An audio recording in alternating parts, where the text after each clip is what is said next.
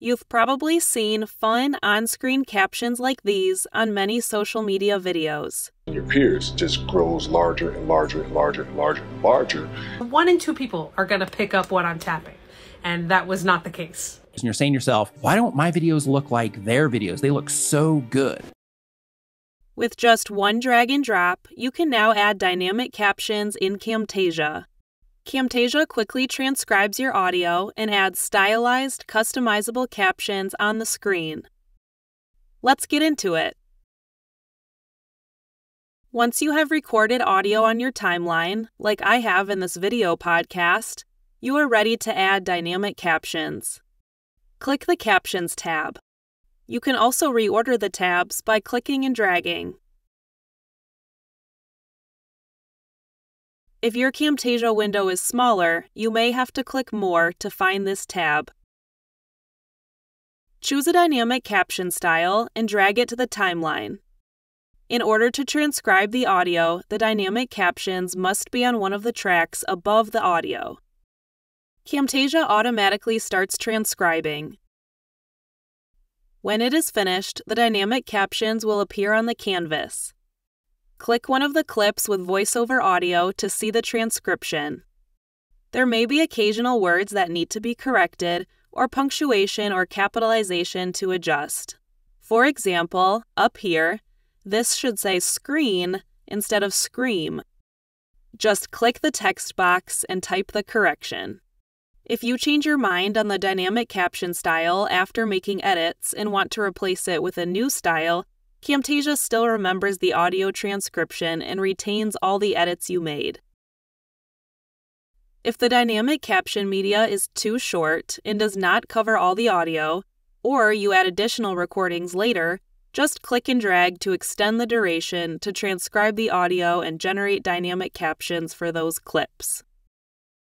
Another option is to have no dynamic captions over a certain section by shortening or leaving a gap in the media. I will use dynamic captions on the entire video. Before customizing the style of these dynamic captions, move them up to avoid covering any important information on the screen. Once you're happy with the location, make sure the dynamic caption media is still selected and then click Properties to change the way the text looks.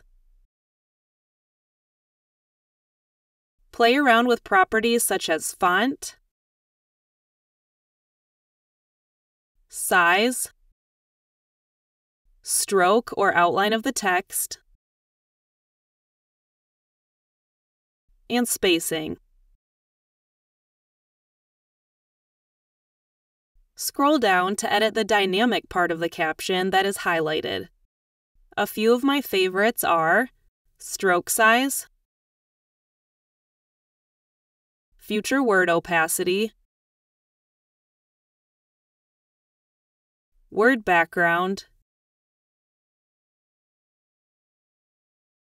and scale of the current word. Play around with all the options. You can always click the reset icon to revert back to the original property. Let's see how it looks.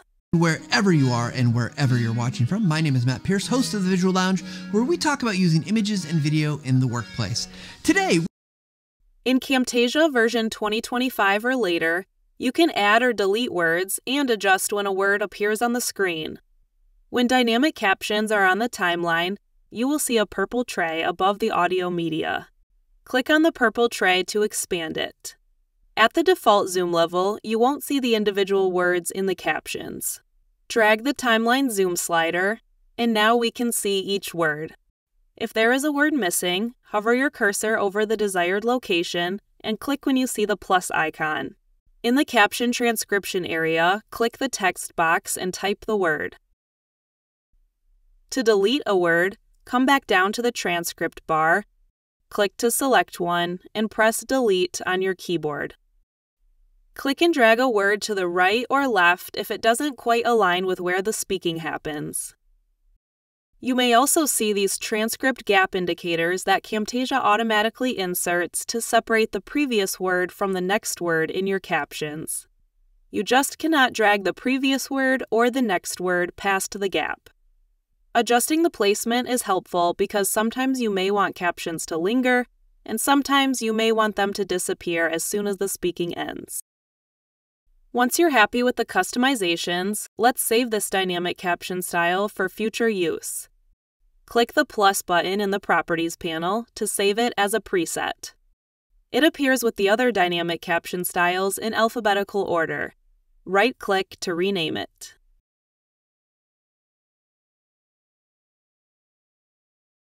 From here, you can add it to your Favorites tab for quicker access.